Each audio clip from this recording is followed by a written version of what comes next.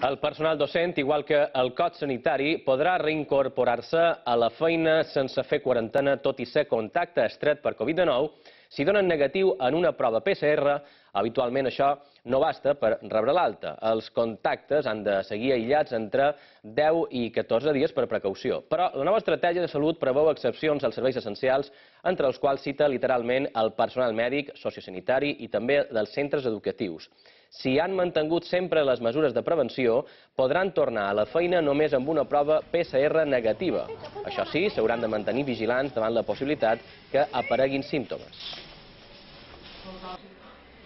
Tenint en compte que els docents estem en contacte en grups, amb, dins les aules, en ràtios de 20 alumnes, és molt perillós i per tant seria recomanable com a mínim fer aquesta segona PCR al cap de les 48 hores i per tant fer eh, i en cas de que sigui torni a ser negativa llavors ja se podria considerar la possibilitat de tornar a la feina amb una sola PCR considerant que és molt arriscat. És clarament una conducta irresponsable.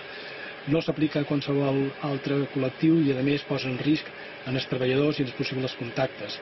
Creiem que és una conducta negligent i que no es pot permetre per seguretat de tota la ciutadania.